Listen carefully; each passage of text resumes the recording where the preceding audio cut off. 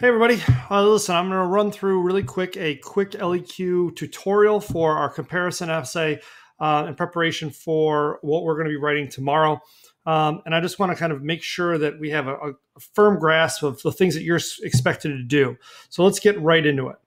All right, so tomorrow you're going to be writing your first comparison essay. And what you have to understand is that there's two different possible prompts that you could you could see. Uh, the first type of prompt is the one that you're going to see above where it says prompt one. And this is where you're comparing two things within a the same time period. So if you look at prompt one, evaluate the ways uh, in which Federalists differed from Democratic Republicans in political views from 1789 to 1815. So I'm, I'm comparing the political parties of the 1790s. We're talking about the exact same time, but we're talking about two different groups within that time range. The second prompt is slightly different same skill, but they're asking you to compare things across time frames. So evaluate the extent to which colonial religious revivals differed with religious movements of the antebellum period. So, in other words, compare like colonial religious revivals, the First Great Awakening, to the uh, religious revivals of the Second Great Awakening you know what's different what's the same about those two things. All right so uh, it is you have to under, be aware of like exactly what you're being asked to compare and the different time ranges uh, that you're supposed to be looking at when you get your prompt and you start to break it down tomorrow. So we're going to look at the first prompt as an example of how to create a comparison essay so the first thing that we're always going to do is we're going to break down that prompt.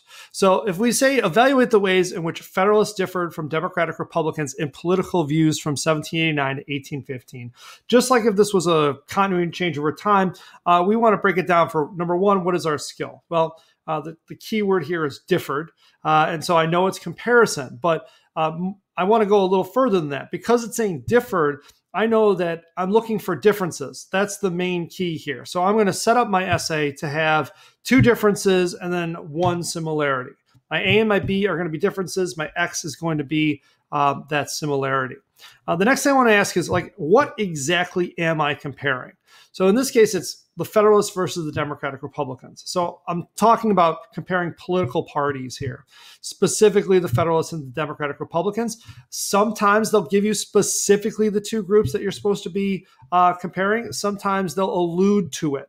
Okay, so uh, it, you, it might not be always this obvious, but you got to kind of figure out exactly what your areas are or your points of comparison. Otherwise, this the, the question is going to be very difficult. All right, uh, we want to see if there's is there a force or is there something that I'm supposed to be kind of uh, looking for a comparison in regards to. Uh, in this case here, it says in terms of their political views. And so I know I'm, I'm comparing Federalists and Democratic Republicans, but I'm not comparing their leaders. Uh, I'm not compl- comparing like where they're located. I need to focus on how they view politics. And then the time period here is 1789 to 1850. So I have to limit my response to that, and all my evidence, uh, at least for my body paragraphs, has to come from that time range. Okay, so my next step after I've broken down the, the prompt is I want to start to just brainstorm as much evidence as I possibly can kind of think of. What, what do I know about anything, any events that are tied to the Democratic Republicans, uh, the Federalists, or just this time period in history. Okay, so uh, you want to do this really quickly. You don't want to spend too much time, but what are the first things that come to mind? Um, and just kind of really quick rattle them off, get them down, because this is a good springboard for coming up with those categories that we want to do next. Okay.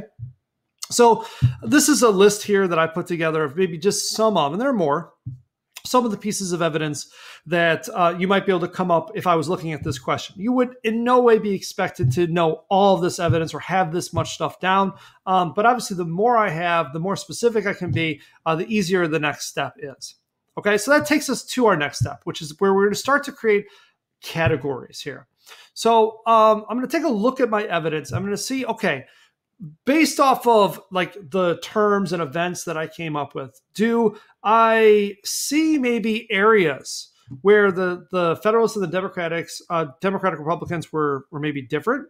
Do I see areas where they were similar? Um, I also, at the same time, want to ask myself, okay, what do I know about these political parties in general? Um, and so, like sometimes maybe uh, if I don't know a lot about these parties, the, the pieces of evidence will help me kind of remember what I, I know about these parties. Oh, looking at this list, um, I remember, oh, yeah, the, the Federalists were uh, in favor of a loose interpretation of the Constitution, and the Democratic Republicans were, were strict. For some of you, you might end up working backwards, and don't be afraid of that. You might like right away know the differences between the two sides. Like, oh, yeah, I remember weak government versus strong central government pro business versus uh, pro agriculture, pro British versus pro French. And you might start to kind of like oh, I don't know, maybe be able to categorize what were the beliefs of the Federalists and the Democratic Republicans. From that point, you're then just saying, okay, uh, of this evidence that I looked at, um, what of it, what what pieces of evidence, what events, what terms, what kind of laws would support these these maybe big differences that I already know. Okay, so uh, you can work either way, but just make sure that you know you ha- you're starting to kind of form like points of comparison and that is like the uh, the most essential thing to do because here is where a lot of students struggle okay? So what i don't want you to do is write me one paragraph describing the federalists and then another paragraph describing the democratic republicans because that's not a comparison essay. I'm not asking for a description of each of these different groups. I'm asking you to make arguments that show differences and similarities. And so when I start to create categories, um, if I were to like say just like write a T chart like the one that I had here, well, like this taken together is one category. Okay, a big mistake that students will make tomorrow is they'll write a one paragraph. Oh, here's all how this is one paragraph. My first body paragraph is how the um, like Federalists believe in a loose interpretation. My second paragraph is how the Democratic Republicans were believed in a strict interpretation. And that's completely wrong. What you want to do is you want to group those ideas into one category. Taken together, they had one area of difference is that they had different views on the Constitution. So I'm going to incorporate both of their views and show how they're different within one body paragraph. And then maybe they had different views on the power of the central government would be a second one. Or they had different views on um, like the economy and the economic development of the, the United States. Okay. So make sure you don't fall into that trap tomorrow. Moving forward. Okay. So um, once I have my um, my differences. Obviously, I want to have a complexity as well. So I need to look for similarities too. And uh, so I might like this is this is where I'm going to just kind of look through my terms and my events. And if I don't know, for example, a similarity off the top of my head, do I see any of these events in which the Federalists and the Democratic Republicans they agreed? You know, they were kind of on the same page. Uh, in this case, I'm looking and I'm saying, okay, well, you know, Jefferson was. Uh, trying to stay neutral with like for example the embargo act and the non-intercourse act. Uh, up here you know we had um, you know the like for the the federalists you know hamilton was a supporter of the proclamation of neutrality and he was the leader of the the federalists. So maybe like eventual commitment to neutrality and both were committed to neutrality could be a commonality. Or i'm looking at okay look at all these events involving native americans uh, and both the Federalists and the Democratic Republicans seem to be in favor of getting the, the Native Americans off of Western lands and kind of freeing this up for uh, American settlement. If that's the case, then maybe that's another area of similarity. Okay. And so I'm, I'm just kind of trying to think through like what are the big differences? What are the um, the similarities? And I want to make sure that I'm coming up with points of argumentation as opposed to just a description of here's one side, here's another. Okay. Um, and that's really important when we're talking about an argumentative essay uh, like the one that we're doing tomorrow. Okay. So our next step is to take that historical evidence, take kind of that that planning, and turn them into coherent categories. Okay. So um, if we take a look at you know some of the pieces of evidence, I've just kind of started to group them into these two differences and this similarity. So uh, my difference first, my first difference is going to be uh, they differed on their interpretation of the U.S. Constitution, and we can see that from like Marbury v. Madison, Virginia and Kentucky resolutions, Alien Sedition Act. There's actually more, but these are just a few that fall into that category. Uh, a second difference might be that they differ on the best way for the government to foster economic development, um, with the uh, you know the Federalists being in favor of a more commercial and, and more trade and business oriented economy, uh, and the uh, Democratic Republicans behind the leadership of Jefferson, kind of trying to push for that agrarian society. And then, of course, we've got similarities, and I just went over that. So I'm, I'm going to go with Native Americans were viewed by both as a foreign entity and a threat to westward expansion. Okay, so uh, that's going to make up my my big categories, and I'm now going to turn this in after step three into my thesis. So here is my thesis. And just like all the other essays that we've written, we're going to take those big categories and we're going to simply apply them to the structure of although x, a plus b. So just kind of plugging in those things that I did on the last step, I'm going to like literally just put it into our format and come up with this thesis that would work and get me points. So although both the Federalists and Democratic Republicans view Native American um, view Native Americans viewed as a foreign. That's not right. That is a complete typo. Let's fix that. Um, so, although both the Federalists and Democratic Republicans viewed Native Americans as a foreign entity and a threat to uh, Western settlement, boy, I was going through this fast. Sorry about that. Uh, the two parties differed in their interpretation of the U.S. Constitution and on the best way for the government to foster economic development within the country. So I literally just, obviously, there's some typos here. I would uh, try to repair that and fix that. But um, obviously, I just drop down these things. Here's my X, drop it into uh, into place, and then my A and my B. And I should have my uh, thesis statement. Uh, it's good good tip to maybe reread your thesis statement because obviously I messed that up. But uh, I'm going to keep moving. Now, this is super important. Your categories at this point don't have to specify exactly which side of the issue they're on. So you notice my categories that I'm creating are more general. So when I say uh, they differed on their interpretation of the U.S. Constitution, in my thesis, I'm not saying, oh, the Federalists believe this and the Democratic uh, Republicans believe that. I'm just saying they're different in this regard. Um, that's okay. You can be a little bit more general in your thesis. What's going to happen as we get into our topic sentences and we get into our body paragraphs, we're going to be a little bit more specific and we're going to explain, you know, how each side uh, viewed the interpretation of the Constitution, for example. Okay. Let's keep going. All right, so that takes us to our contextualization. So uh, when we do our contextualization, you know, that's going to be the first thing in our intro paragraph. So we put our intro paragraph together, got our contextualization followed by our thesis.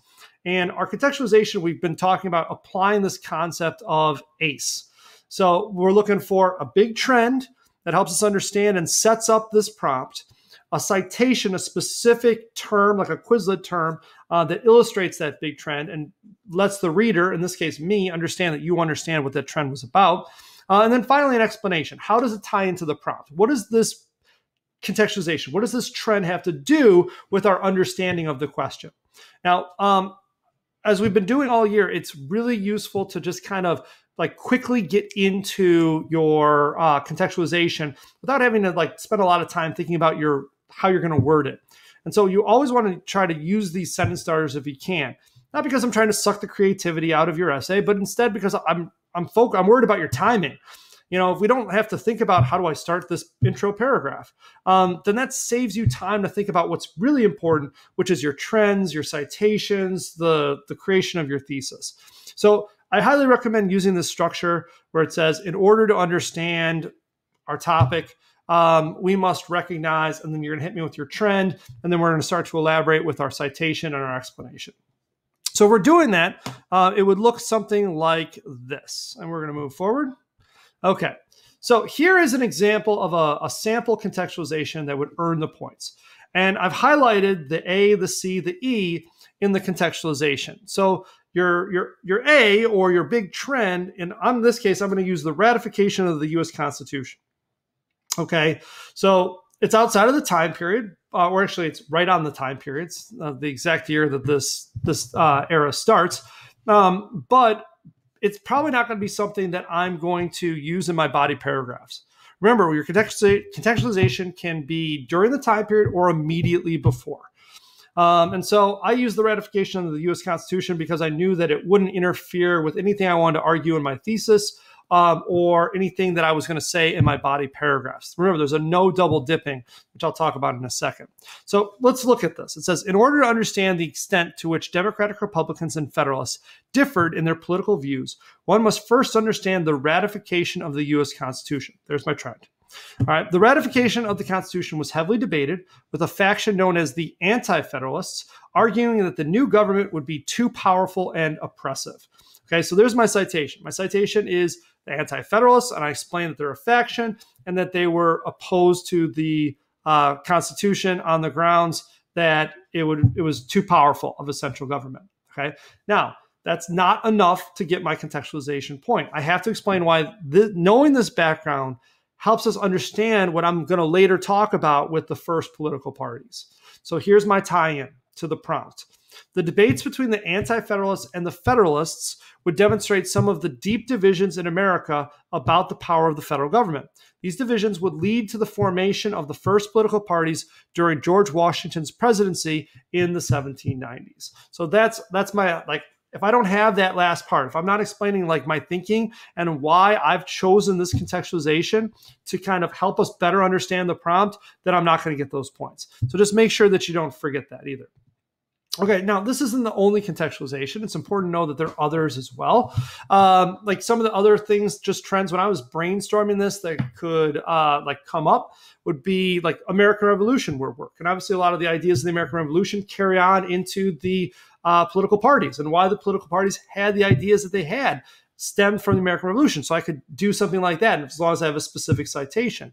The French Revolution is important because French Revolution, even though it's not happening in this country, uh, is a major world event, and it's going to be a, a, major cause of dispute between the political parties. It's going to be one of the things that kind of separates Washington's cabinet and creates the formation of these parties. So that could be useful. We could talk about the government before the um, the the Constitution, like the critical period in the Articles of Confederation, and how obviously the new government like contrasts with that old government and how that might shape the political parties and their views as well.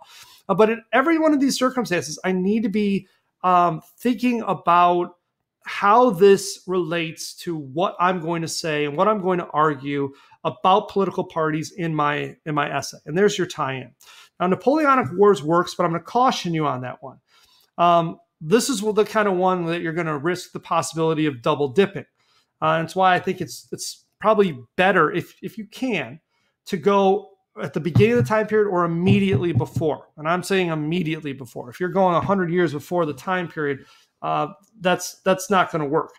Um, but going a little bit, the reason why it's probably like the American Revolution, or in my mind, like the ratification of the Constitution is better, is because I don't risk double dipping. I don't rem- I don't risk taking some of my arguments from my thesis to create a contextualization because you can't get points for both. So not only are you not allowed to like say like use an argument from your thesis as part of your contextualization, which I do see happening quite a bit. But you're also not allowed to use a citation in your contextualization that you want to use later in your body paragraphs. So you got to like be careful with how you plan and what you choose to, to kind of say. Okay. So that's our contextualization. So that gets us into um, our body paragraphs. Okay. So you're going to have to do two body paragraphs for this coming um, essay. Okay. And, uh, you know, we've done our intro paragraph. Um, our body paragraphs are really going to consist of a topic sentence, which is going to clearly use the words of the skill, meaning, oh, this is how they're different, this is how they're similar, or some sort of uh, simile that means the same thing. Contrast, compare, use the words of the skill. But I clearly need to know um, when I read your topic sentence and I read your body paragraph that you're you're making a point for a similarity or a difference, and exactly what that similarity or difference might be.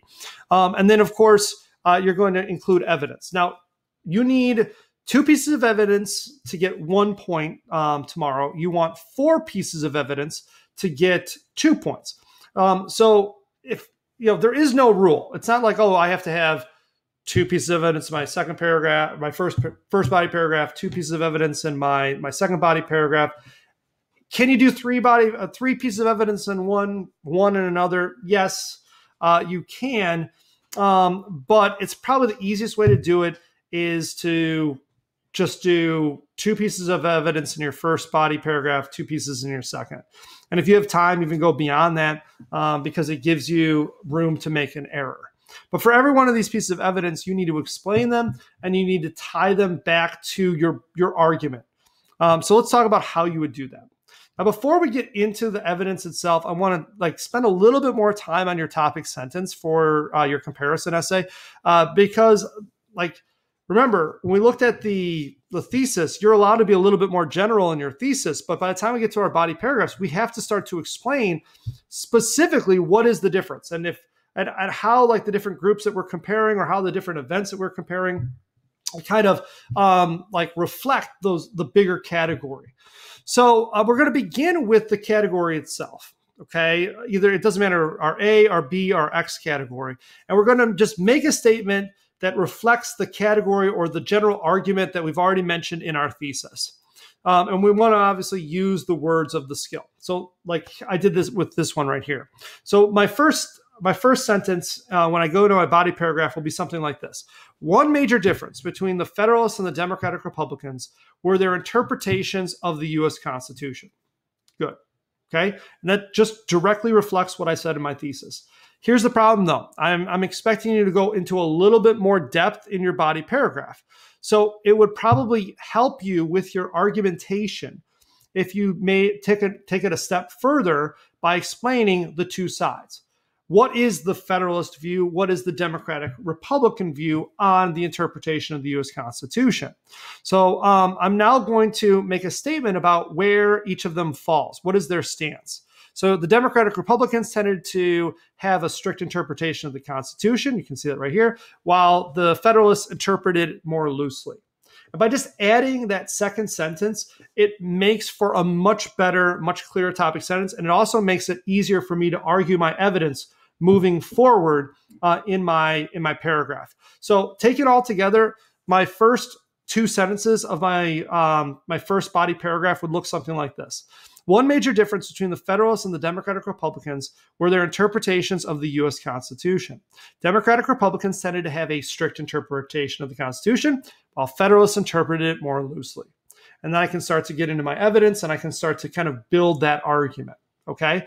But like just laying out exactly which side uh, each is on or, or what exactly is the difference and kind of getting a little bit more specific right away is going to make for a stronger argument. Let's keep going. All right, so let's talk about how to incorporate evidence. Now that we have our topic sentences, how to incorporate evidence into um, what we're trying to say. So I did um, a different topic sentence for this one so that you could see different topic sentences that I'm writing. Um, this is my other argument. Uh, the Federalists and Democratic Republicans also disagreed on the best way for the government to promote the economic development of the United States. The Federalists wanted the government to stimulate commerce, while the Democratic Republicans believe that the government should promote agriculture. Okay, there's my topic sentence. All right, I'm then going to obviously take a look at okay, what piece of evidence did I group with this category? So, looking back all the way in my planning, uh, you probably saw that I had Hamilton's financial plan and the Louisiana Purchase as my two pieces of evidence that I could use to promote to, to, to prove the differences between the way that the Federalists versus the Democratic Republicans looked at the economy. Now, when you're writing your evidence and we're writing your body paragraphs, just like we do ACE with contextualization, it also kind of makes sense to follow that same type of structure. Okay. So the way that I look at it, your topic sentence is essentially your A. Okay. That's your overarching uh, idea that you're working off of. So every single time you come across a piece of evidence, you're going to then just complete the ACE cite and explain. So like cite it and explain the term, and then your E is your tie it back. So I don't know if that doesn't make sense. So my A is my topic sentence. My C is my citation, which is explained, and kind of uh, like I okay, if I'm using financial Hamilton's financial plan, I'm not just name drop. I'm to say we can see this through Hamilton's financial plan. Here's what it was, and then my E is my my tie back. The same way that my E in our contextualization was tied back to the prompt, in this case, I'm tying it back to my topic sentence. So, how does Hamilton's financial plan prove that the Federalists were more about commerce and the Democratic Republicans were more about agriculture. So I have an example down here. Um, I did Hamilton's financial plan, uh, and you can clearly see how I'm using that ACE structure.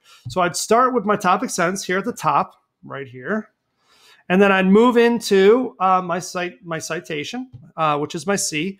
Hamilton's financial plan was created by Alexander Hamilton um, and attempted to repair, who attempted to repair the U.S. economy after the American Revolution by restoring the nation's credit and creating a national bank. Okay, so there's my C. I've not only identified a specific uh, term, but I've explained what that term is. And this comes directly from Quizlet, by the way, which would be a good tool for you uh, for tomorrow if you get stuck. The next part is how does this kind of prove my topic sentence? So, how does this relate back to uh, that topic sentence, uh, which is about the differences between an economic uh, vision of commerce versus an economic vision of agriculture? Well, the Federalists believed in a um, an economy that was built on trade. So I'm gonna I'm gonna have to say something like that. So Hamilton's financial plan demonstrates the Federalist commitment to commerce because improved credit would help America trade with over countries overseas. The plan clearly emphasized trade while doing less to benefit small yeoman farmers. Okay, so um, that's I'm linking it back to that argument that I'm trying to make. Let's kind of open this up and take a look at how this would like function in a full paragraph. So here is a full paragraph, and I've broken it down with an A C E C E. That's kind of how it breaks down. um, you only have to write the A the A once because that's your topic sentence. So um, let me move this picture here so that you can see this whole thing. There we go. So this is a sample paragraph um, that would kind of like argue I, I, would say somewhat competently um, for a comparison between the Federalists and the Democratic Republicans on their vision for the, the government's role in, in building an economy. So we'll start off with a topic sentence. The Federalists and the Democratic Republicans also disagreed on the best way for the government to promote the economic development of the United States. The Federalists wanted the government to stimulate commerce, while the Democratic Republicans believed that the government should promote agriculture. Okay, so there's my A. I'm laying out my big argument. That's my that is my uh, topic sentence. Now, I need a citation with a tie back for each of my like the terms that I'm going to name here. So, Hamilton's financial plan was created by Alexander Hamilton, a Federalist, and it attempted to repair the U.S. economy after the American Revolution by restoring the nation's credit and creating a national bank. I've cited a specific term and I've explained it. Now I need to tie it back. Hamilton's financial plan demonstrates the Federalist commitment to commerce because improved credit would help the United States trade with countries overseas. The plan clearly emphasized trade while doing less to benefit small yeoman farmers. So that's just what we talked about. Okay. But here's the thing we need more than one piece of evidence per, um, per body paragraph if we're really trying to make a comparison. So I'm, I'm going to then transition to the other side. And you really don't want to be afraid of this. It in a comparison essay, especially when you're showing differences, you're going to be bringing arguments and ideas from both sides into the same paragraph. So I'm going to be saying, like, oh, on the one hand, we've got the Federalists, and on the other hand, we got the Democratic Republicans. So this next sentence transitions to the other side. On the other hand, the Democratic Republicans pushed policies that helped farmers while in office. So I'm transitioning to the other side to, in order to make my comparison. Drop it with another citation. Louisiana Purchase, which was made by Thomas Jefferson, doubled the size of the United States and added new lands to in the West. Okay, so I've cited the Louisiana Purchase and I've explained what it is. Now I need to tie it back to the my original A, my topic sentence. Louisiana Purchase was very popular among Democratic Republicans because it furthered Jefferson's dream of an agrarian society. With Louisiana Purchase, there was now more room for people to farm. Jefferson would continue to favor agriculture over commerce for the rest of his administration, oftentimes ignoring the demands of Federalists for support for trade. Um, and there's my entire body paragraph, and I can move into my my next body paragraph all right, which would be a different category. And I would just follow the same format. Okay. So a, f- a few things you need to notice here. Obviously, for like every single, I'm not just, I clearly have a line of argumentation. I'm not just describing the Democrats and talking all, or the Democratic Republicans and talking only about the Democratic Republicans. There's no argumentation there. I have a clear topic sentence that is clearly drawing a line of comparison, saying here's how they're different. Um, and here's exactly what the Federalists think. Here's exactly what the Republicans think. Okay. And I go on then to have specific citations that illustrate that indeed the Federalists thought this way while the Democratic Republicans thought this way. And I, I use both of those citations not only just ex- to explain what the term is in detail, I don't just name drop it, but then to kind of go into detail how it's furthering the argument that I'm trying to make. This whole process doesn't take very long. Um, as, as long as you kind of just understand how to put it together. Um, and almost all of this is content. Uh, the only kind of style style uh, it, like it, that's really going into this essay is this transitional sentence that moves me from maybe like one group the federalists to the other group the democratic republicans okay and and i've got a comparison essay okay so um, i would then proceed into my next argument put it together and i'm done with my essay okay now I know this is, feels very structured. It's supposed to be feeling very structured because you have 35 minutes to do this. So the structure is intended to take all the style and all of like the what goes where off your your plate so you can focus on the thoughts. Like you can focus on okay, what are my big categories? What are my big points of comparison? What are the best pieces of evidence that I can pull in? How am I going to explain them? How am I going to tie them back? Like that's what you need to be spending most of your time thinking about um, when you actually go to write your essay. So let's talk a little bit about um, like exactly what's happening tomorrow and how it's graded. So just a reminder for tomorrow, um, you're going to have the full 35 minutes to plan and write. Uh, pacing is going to be really important. I recommend five minutes of planning, kind of get your thoughts down. It's like maybe you want to draw a Venn diagram or a T chart to kind of lay out your, your points of comparison, whatever helps you organize your ideas. Um, but you only have 35 minutes. Give yourself about 30 minutes to write.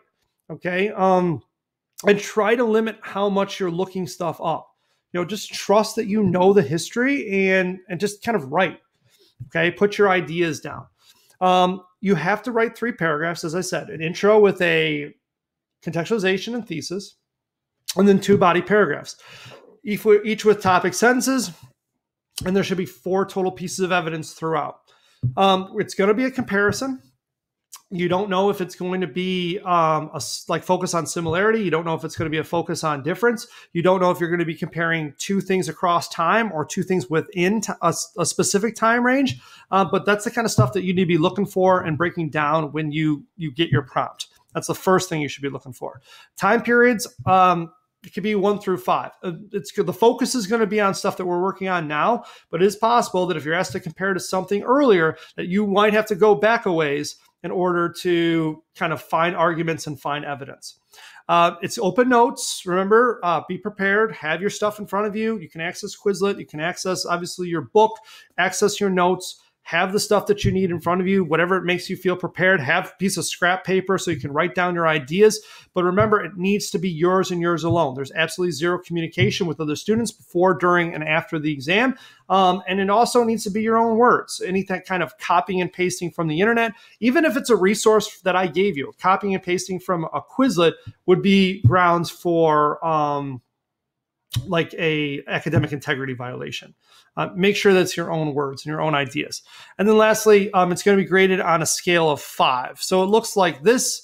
Here's the rubric, and I went over this in class, but I'm going to remind you again. Um, one point for contextualization, nothing's changed in terms of that. Like, so it's the same way that we've been grading it all year. Uh, one point for thesis, nothing's changed there. Uh, we're using the although X A plus B format. Um, remember, your thesis should be at the end of the paragraph, not the first par- like sentence of your intro paragraph. Start with your contextualization and then move into your thesis. Uh, we're then going to get into the body paragraphs. There are three points that come from your body paragraphs. You have to have clear topic sentences for both of your body paragraphs, and they need to work. Um, so I need a clear point of comparison for your first body paragraph that works, and I need a clear point of comparison for your second body paragraph that works in order for you to get the argumentation point. Um, and then, of course, your historical evidence. Once you, I know what is the the difference or what's the similarity between these uh, different groups. Um, like what evidence proves those differences or similarities. And for each piece of evidence, not only do you have to explain it, you also have to tie it back. If you don't explain it and you don't tie it back, you don't get the point. So I've got like, oh, I, I listed seven things. Well, you didn't explain how any of it ties back to your arguments. You get no points for it. Or if you just um, name dropped like 10 things, well, I don't know that you really know it. All I know is that you can, you remember the term um, Kentucky and Virginia resolutions. But unless you explain what it is, I don't actually know that you understand what those things were about. So make sure that you explain yourself. Um, I kind of use that format that I talked about. Your your ace, you know, ace. Your and then um, Miss Schacht and um, Miss Ulrich um, use a slightly different version of that. Um, they say like name it, explain it, and um, relate it. But it's all part of the same concept. Just always make sure that you know you're tying, you're explaining your citations, and you're tying them back. Okay, and then of course you're not double dipping. That your evidence is is you can't use one piece of evidence more than once. You definitely can't use something that's in your contextualization. All right. So tomorrow, obviously, I'll have um, intervention, and if anyone has any additional questions, uh, feel free to come in, stop by, and we'll talk about them. All right. Hope this helped.